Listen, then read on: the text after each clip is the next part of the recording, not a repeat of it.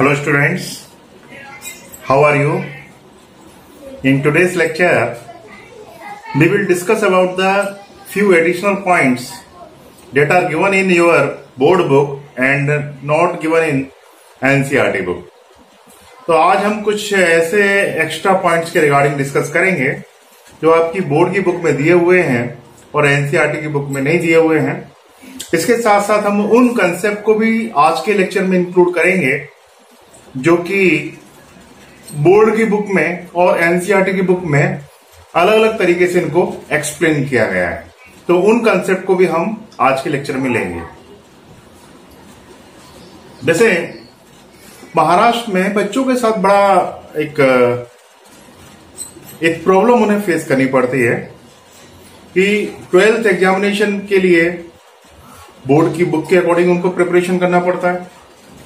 और नीट के लिए उनको एनसीआरटी के अकॉर्डिंग प्रिपरेशन करना पड़ता है। बोर्ड की एग्ज़ाम में आपका आंसर बोर्ड की टेक्स्ट बुक के अकॉर्डिंग ही होना चाहिए। यदि आप एनसीआरटी की टेक्स्ट बुक के अकॉर्डिंग लिख के आ गए तो हमारे जो चेकर होते हैं, वो उसे कंसिडर नहीं करते हैं। तो ऐसे में एक ही कंसेप्ट को दो अलग अलग तरीके से लर्न करके रखना, ये बड़ा प्रॉब्लमेटिक हो जाता है। तो हम कुछ आज के लेक्चर में ऐसे कंसेप्ट को लेकर डिस्कस करेंगे जिनका एक्सप्लेनेशन एनसीआरटी में और बोर्ड की बुक में डिफरेंट डिफरेंट तरीके से दिया हुआ है, एक तो उसको इंक्लूड करेंगे और इसके साथ साथ हम उन कंसेप्ट को भी इंक्लूड करेंगे जो कि बोर्ड की बुक में दिए हैं और एनसीआरटी की बुक में दिए नहीं है। तो हमारा जो चैप्टर है कंट्रोल एंड कोऑर्डिनेशन इस चैप्टर में न्यूरल टिश्यू के बारे में इनिशियली दिया हुआ है। वो हम अपने लेक्चर्स में इनिशियल लेक्चर में डिस्कस कर लिया है। इसके अलावा इसमें हमारी जो बोर्ड की पुस्तक है, उसमें हाइड्रा का न्यूरल सिस्टम दिया हुआ है, वो भी हम डिस्कस कर चुके हैं। अब इसके बाद, अब हम आते हैं कंडक्शन ऑफ़ नर्व इंपल्स के रिगार्डिंग तो कंडक्शन ऑफ़ नर्व इंपल्स में हमारे जो बोर्ड की पुस्तक है, उसमें और एनसीआरटी में थोड़ा सा कुछ कुछ कंसेप्ट जो है डिफरेंट दिए हुए हैं। तो हम उसे डिस्कस करेंगे। जैसे हमारी बोर्ड की बुक में एक कंसेप्ट दिया हुआ है। हमारा प्रॉपर्टी ऑफ़ नर्व फाइबर्स तो हम प्रॉपर्टी ऑफ़ नर्व फाइबर को लेकर डिस्कस कर लेते हैं।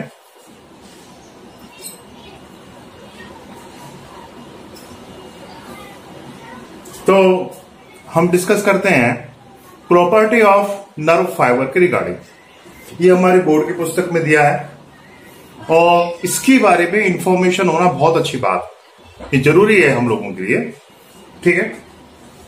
तो first property is that excitability और irritability this property we have been discuss in the neural tissue देखो, हमारे न्यूरल टिश्यू की दो बड़ी महत्वपूर्ण खासियत होती हैं। These are number one excitability और irritability and second product property is the conductibility तो एक्साइटेबिलिटी और इरिटेबिलिटी का मतलब क्या होता है? एक्साइटेबिलिटी इरिटेबिलिटी का मतलब ये होता है कि यदि सराउंडिंग में किसी तरह का कोई भी चेंज है तो उसकी वजह से हमारे जो नर्व्स हैं, हमारे जो नर्व सेल्स हैं, वो क्या हो जाएँगे? एक्साइटेड हो जाएँगे। अब जैसे फॉर एग्ज़ाम्पल कि हमारी जो नर्व सेल होती है जनरली उस पर एक रेस्टिंग पोटेंशियल होता है। पूरी की पूरी मेम्ब्रेन में एक, आपको एक पोटेंशियल देखने को पोटेंशियल डिफरेंस देखने को मिलेगा। हमारा जो एक्सो प्ला जो हमारा एक्सो एक्सोन है, उसके आउटर साइड में मतलब कि एक्स्ट्रा सेलुलर फ्लूड में आपको सोडियम आयन ज़्यादा देखने को मिलेगा और इंट्रा सेलुलर फ्लूड में आपको पोटेशियम आयन ज़्यादा देखने को मिलेगा। Along with the potassium ion आपको इंट्रा सेलुलर फ्लूड में फ्लूड के अंदर नेगेटिवली चार्ज प्रोटीन आयन देखने को मिलेंगे। तो इस तरह से क्या होता है कि पूरे के पूरे एक्सॉन के ऊपर एक पोटेंशियल डिफरेंस मेंटेन होता है और इसे हम रेस्टिंग पोटेंशियल के नाम से जानते हैं और इसकी वैल्यू कितनी होती है? माइनस सेवेंटी मिली वोल्ट होती है। तो ये तो एक हमारा नॉर्मल एक स्टेडी स्टेट की कंडीशन है। जैसे ही सडनली कोई चेंजेस होता है तो हम क्या देखते हैं कि इसके अंदर का ये जो रेस्टिंग पोटेंशियल है, ये फॉल हो जाता है और यहाँ पर एक एक्शन पोटेंशियल डेवलप होता है in form of disturbance disturbance की तरह क्रिएट होता है और वो डिस्टरबेंस जो होता है, वो एंटायर नर्व सेल के अंदर क्या होता है ट्रेवल करता है। याद कीजिए, हमने जैसे फिजिक्स में मैकेनिकल वेव के बारे में पढ़ा है कि यहाँ पर भी क्या हो रहा है मैकेनिकल वेव में क्या होता है? मैकेनिकल वेव में एक डिस्टरबेंस होता है और वो डिस्टरबेंस क्या होता है मीडियम में ट्रेवल करता है। जैसे हमने एक पत्थर किसी पॉन्ड के अंदर फेंक दिया तो एक डिस्टरबेंस क्रिएट होगा in form of the wave वो डिस्टरबेंस के फॉर्म में एनर्जी ट्रेवल होती हुई जाएगी। ठीक है? तो ये जो प्रॉपर्टी है कि हमारे नर्व सेल्स का, कि इसके अंदर जो है, ये पोलराइज कंडीशन में है, और जैसे कोई भी चेंज हुआ मीडियम में, इसमें एक एक्शन पोटेंशियल जनरेट हो जाएगा। This property is known as the excitability इस प्रॉपर्टी को हम किस नाम से जानते हैं? एक्साइटेबिलिटी के नाम से जानते हैं। Second property is the conductivity अब देखिए नव सेल में तो साइटोन तो छोटा सा होता है एक्सोन बहुत लंबे फाइबर के फॉर्म में होता है। और इस पूरे के पूरे एक्सोन के अंदर एक इलेक्ट्रिकल डिस्टर्बेंस के फॉर्म में, एक वेव ऑफ़ डीपोलराइजेशन के फॉर्म में, या एक्शन पोटेंशियल के फॉर्म में इतने सारे नाम बोल दिए, याद ही नहीं हो रहे आपको। एक बार फिर दोबारा से रिपीट कर देता हूँ। कि इलेक्ट्रिकल डिस्टर्बेंस के फॉर्म में, या फिर वेव ऑफ़ डीपोलराइजेशन के फॉर्म में, या फिर एक्शन पोटेंशियल के फॉर्म में, पूरे के पूरे एक्सोन में इंपल्स ट्रेवल होता हुआ जाता है। ठीक है? तो ट्रेवल किसकी वजह से हो रहा है? पूरे के पूरे एक्सोन फाइबर के अंदर। ये जो ट्रेवलिंग हो रहा है, यह कौन सी प्रॉपर्टी की वजह से हो रहा है? कंडक्टिविटी की वजह से ट्रेवलिंग हो रहा है। ठीक है ना? इसीलिए तो हमारी नर्व सेल्स बहुत लंबी लंबी होती है। उनके जो एक्सोन फाइबर होते हैं, बहुत लंबे लंबे होते हैं। हमारी बॉडी की सबसे लॉन्गेस्ट सेल कौन सी है? न्यूरॉन या नर्व सेल्स ठीक है? नेक्स्ट इज़ स्टिमुलस अब स्टिमुलस से हमारा क्या मतलब है? स्टिमुलस से हमारा मतलब है कि किसी भी तरह का एक्सटर्नल मीडियम में चेंज होना। एक्सटर्नल मीडियम में कोई भी चेंज होगा तो उस चेंज को कौन परसीव करेगा? हमारे sensory cells sensory cell is type of the neural cells तो वो उसको परसीव करेंगे और परसीव करने के बाद वो क्या प्रोड्यूस करेंगे? इंपल्स प्रोड्यूस करेंगे और ये इंपल्स ट्रेवल होता हुआ सीएनएस तक पहुंचेगा। ठीक है? तो इसलिए स्टिमुलस का मतलब क्या होता है? स्टिमुलस मतलब होता है any detectable physical chemical change जिसे कौन डिटेक्ट करेगा? हमारे रिसेप्टर डिटेक्ट करेंगे और डिटेक्ट करके क्या करेंगे वो? इंपल्स प्रोड्यूस करेंगे। इंपल्स जब तक प्रोड्यूस नहीं होता, जब तक कोई स्टिमुलस नहीं मिलता।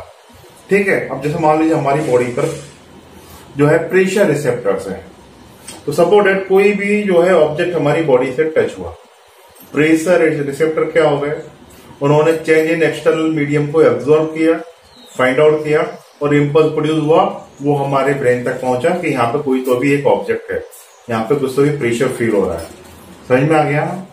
तो स्टिमुलस का मतलब होता है कि any detectable physical chemical electrical change any type of the change जो क्या क्रिएट कर सके इम्पल्स को जनरेट कर सके, उसे हम क्या बोलते हैं?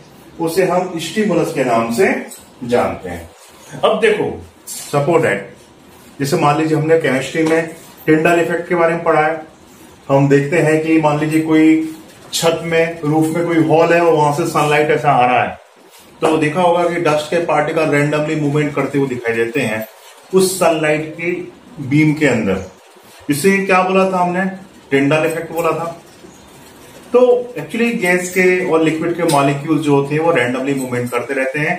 छोटी छोटी छोटी छोटी, बहुत ही स्मॉल साइज़ के जो पार्टिकल्स होते हैं, वो डस्ट पार्टिकल जैसे तो रेंडमली वो मूवमेंट करते रहते हैं। हमारी बॉडी से भी टकराते हैं। इनसे इम्पल्स जनरेट होता है?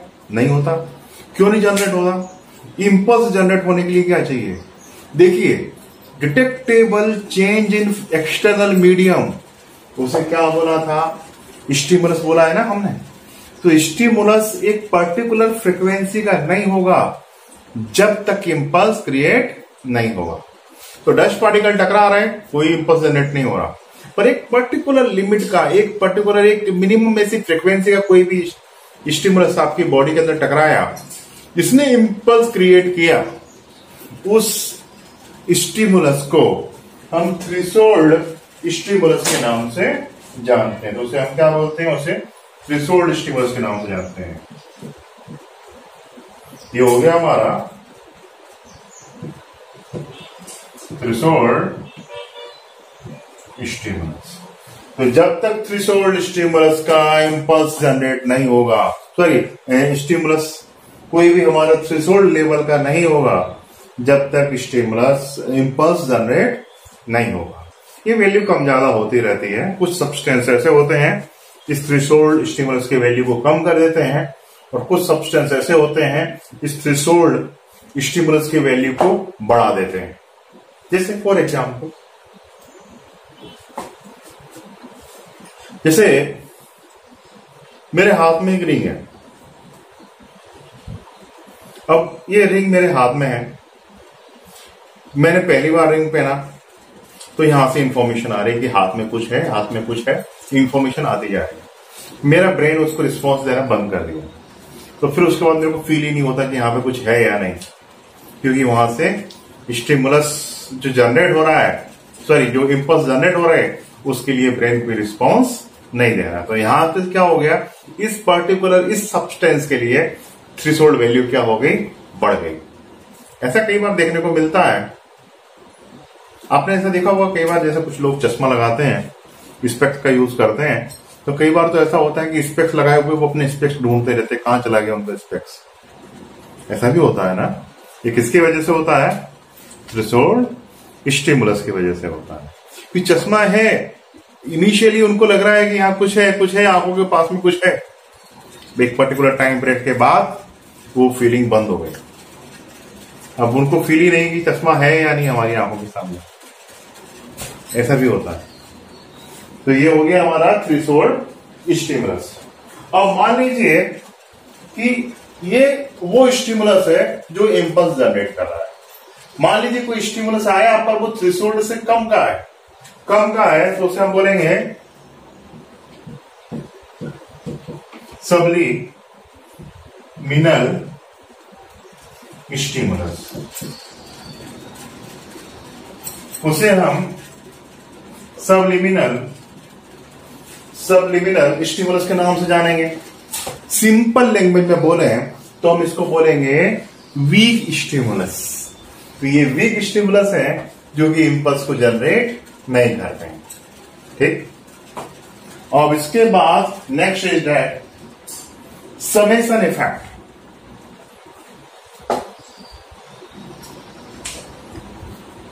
summation effect समझो। वीक स्टिमुलस इंपल्स जनरेट नहीं कर रहा। पर ढेर सारे वीक स्टिमुलस मिलके काम करें तो? फिर तो इम्पल्स जनरेट होगा। तो जब ढेर सारे वीक स्टिमुलस मिलकर काम करते हैं, मिलकर जो है वर्क करते हैं तो उस कंडीशन में स्टिमुलस जनरेट हो जाता है। This phenomena is known as summation effect इसे हम किस नाम से जानेंगे? समेशन इफ़ेक्ट के नाम से जानेंगे। Next is that all or none law अभी ऑल और नन लॉ क्या है? देखो, या तो इंपल्स जनरेट नहीं होगा, और यदि जनरेट हो गया तो इंपल्स कंटिन्यूस ट्रेवल करता हुआ हमारे ब्रेन तक पहुँचे। तो this phenomena is known as all or none law या तो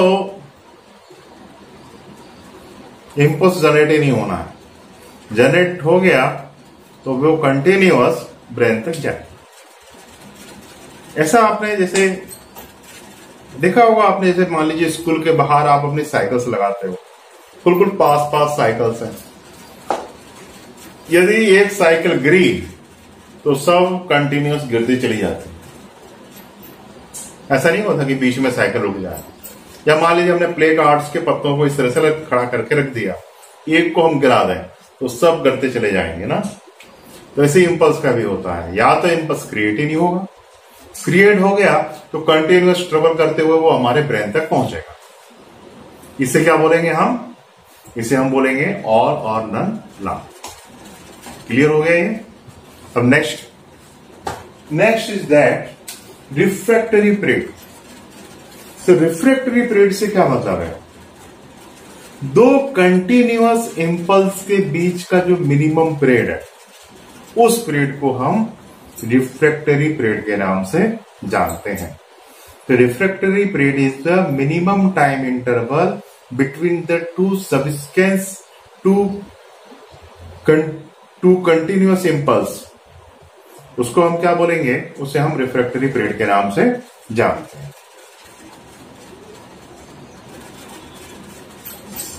तो refractory period means refractory period means the minimum time interval between the two consecutive stimulus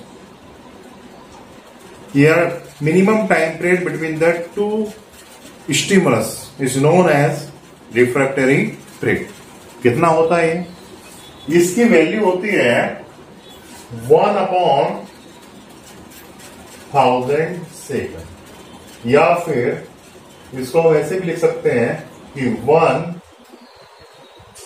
milli second तो ये वैल्यू होती है हमारे रिफ्रैक्टरी पीरियड की। तो these are the value of the refractory period कितना? वन मिली सेकेंड अब next synaptic delay synaptic delay क्या होता है इसको समझते हैं।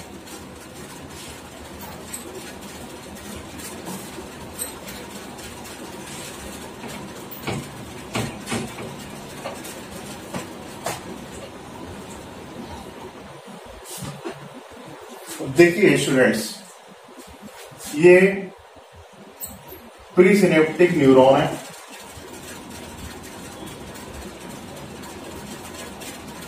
और ये हमारा पोस्ट सिनेप्टिक न्यूरॉन है। मतलब क्या है? एक न्यूरॉन का एक्सॉन टर्मिनल दूसरे न्यूरॉन के डेंड्राइट से कनेक्ट है। क्योंकि इंपल्स हमेशा किधर से किधर जाता है? डेंड्राइट से एक्सॉन की तरफ़ जाता है। मतलब यहाँ पे इंपल्स का फ्लो कैसा हो रहा है स्टूडेंट्स यहाँ पर इंपल्स का फ्लो कुछ इस तरह से हो रहा है। ठीक?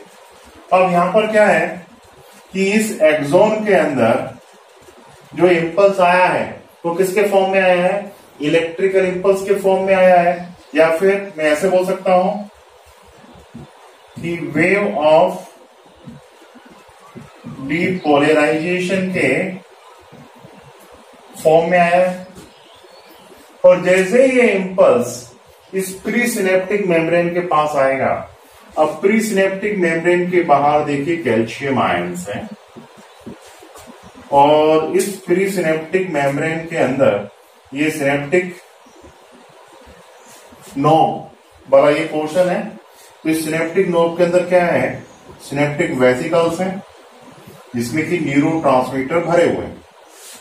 तो जैसे ही वेव ऑफ़ डीपोलराइजेशन यहाँ पे आता है, आते बराबर क्या होता है? कैल्शियम के लिए इसकी परमेबिलिटी बढ़ जाती है, कैल्शियम आयन अंदर आएगा अंदर आएगा तो सिनेप्टिक वेसिकल्स को, वो पेरिफेरल साइड में मूव करने के लिए इंड्यूस करेगा और इसकी वजह से सिनेप्टिक वेसिकल्स कहा जाएँगे? सिनेप्टिक लेफ़्ट में जाएँगे। सिनेप्टिक लेफ़्ट क्या होता है? Pre synaptic membrane post synaptic membrane के बीच का जो एरिया होता है, ये स्पेस होता है जिसे हम सिनेप्टिक लेफ़्ट के नाम से जानते हैं। और पोस्ट सिनेप्टिक मेम्ब्रेन पे क्या है? रिसेप्टर्स जो इन न्यूरो को परसीव करेंगे। अब कैल्शियम आयन के लिए परमिबिलिटी कब चेंज होगी? एक्सॉन टर्मिनल की, जब इस पे इंपल्स आएगा तब। तो कैल्शियम आयन जब अंदर आएँगे, तभी सिनेप्टिक वेसिकल्स किधर जाएँगे?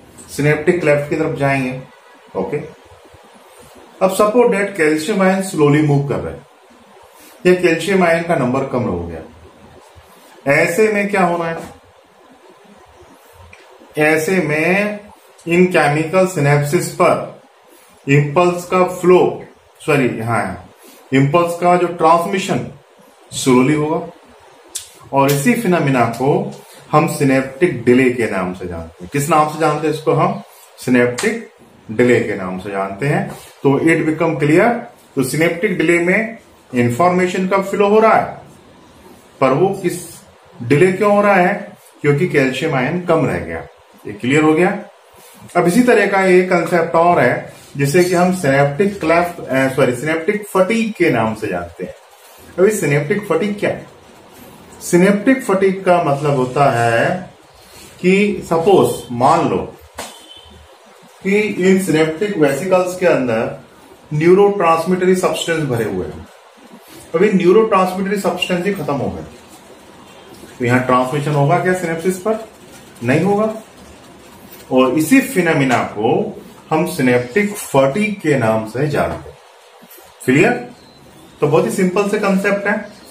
अब देखो वेलोसिटी अब इंपल्स की जो वेलोसिटी होती है, उसके रिगार्डिंग अपन डिस्कस कर लेते हैं।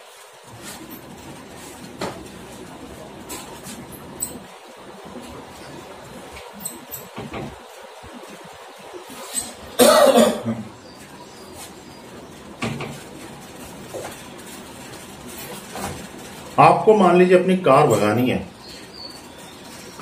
तो एक छोटा सा सिंगल रास्ता अच्छा रहेगा कि एक बड़ा लंबा चौड़ा हाईवे आपके लिए अच्छा रहेगा।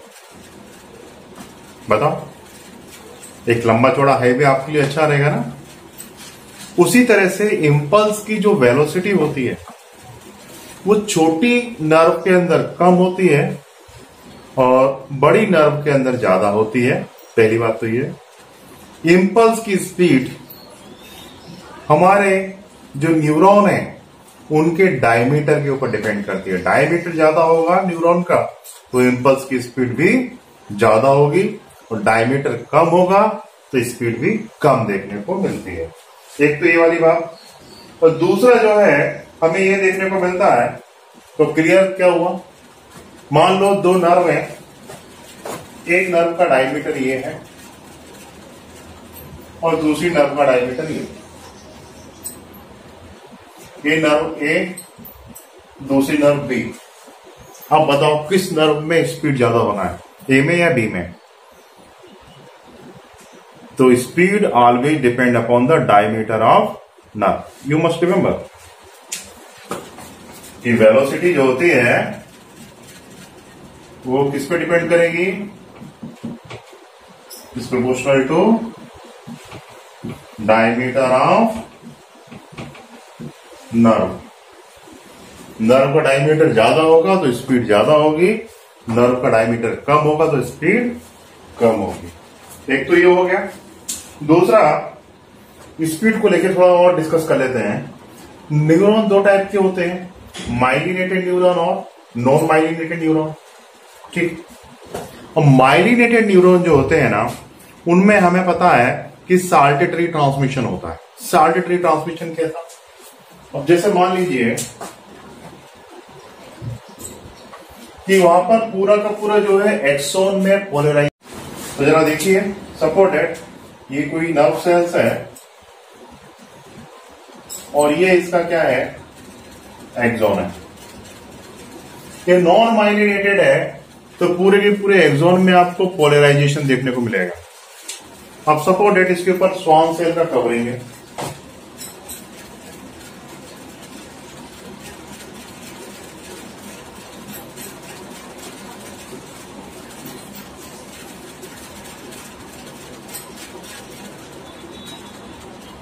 स्वान सेल का कवरिंग है तो इस कंडीशन में दो स्वान सेल के बीच का ये जो रीजन है, इस रीजन को हम क्या बोलेंगे? इस रीजन को हम बोलेंगे नोड ऑफ़ रैनवियर तो माइलिनेटेड न्यूरॉन में जो पोलराइजेशन देखने को मिलता है, वो केवल नोड ऑफ़ रेनवियर पे देखने को मिलता है। और यहाँ पर इंपल्स का जो ट्रांसमिशन होगा, वो एक नोड ऑफ़ रेनवियर से दूसरे नोड ऑफ़ रेनवियर फिर वहाँ से दूसरे नोड ऑफ़ रेनवियर इस तरह से ट्रांसमिशन होता है और इस तरह के ट्रांसमिशन को हम सर्टेटरी ट्रांसमिशन के नाम से जानते हैं। तो इस तरह का जो ट्रांसमिशन होता है, इसे क्या बोलते हैं हम? सोल्टेटरी ट्रांसमिशन अब सोल्टेटरी ट्रांसमिशन जो माइलिनेटेड न्यूरॉन में हो रहा है, उसकी स्पीड फास्ट है।